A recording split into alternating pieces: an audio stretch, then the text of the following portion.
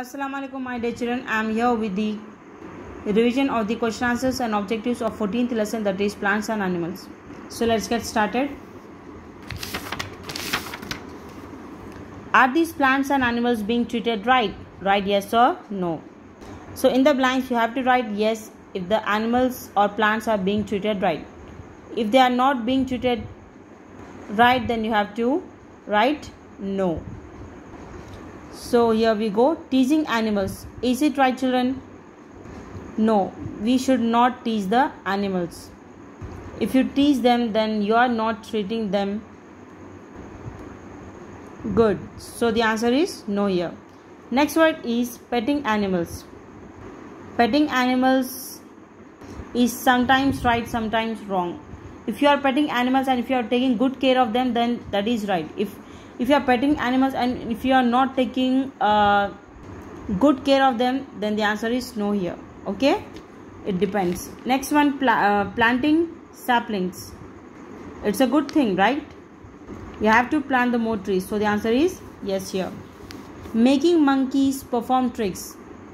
Is it an act of kindness children? No you are forcing them to perform the tricks. And that's not an act of kindness. Why? Because animals can't speak and they can't tell that they don't want to do this and that. So you're forcing them. So they're being treated wrong here. So the answer is no. Plucking leaves or flowers is it right? No. Even the plants they are the living thing. So we must not pluck the leaves or the flowers we must instead plant the more trees so the answer is no here. Uprooting trees for no reason is a bad thing right? You are not treating the plants in the right way. So the answer is no here. Now let's start the objectives. The first bit is fill in the blanks. We share our dash with animals and plants. What we are sharing? We are sharing this world with all the uh, kinds of plants and animals right next one big plants are called trees Animals that live in the jungles are called dash dash animals. The animals that live in the jungles they are called as the wild animals. And these wild animals they stay far away from us uh, because they are dangerous for us, isn't it? Next one, plants and animals living in hot places can dash themselves from the hot sun. So the plants and animals that live in the hot places they can protect themselves from the hot sun. Okay? Next one. Trees give us dash. They give us the fresh air to breathe. The next bit is when will you find these animals? Pick the word from the help box to write your answers. First is tiger. Where will uh, we find these animals children? Tigers we find it in the jungle right? So the answer is jungle here. Duck we find these in the water. Monkey trees bear jungle. Fish in the water. Next one. Fill in the blanks with the names of the animals and plants. Dash dash and dash plants have beautiful flowers.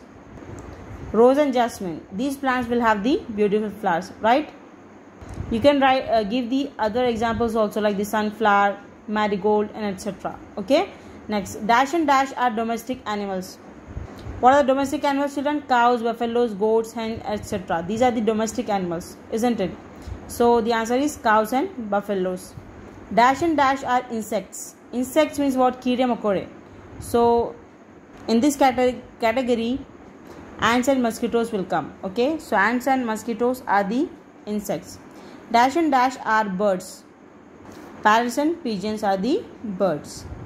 Now let's revise the question answers of this lesson so here we go. The first is the words for practice. A N I M A L S animals domestic. D O M E S T I C domestic. W I N D wind.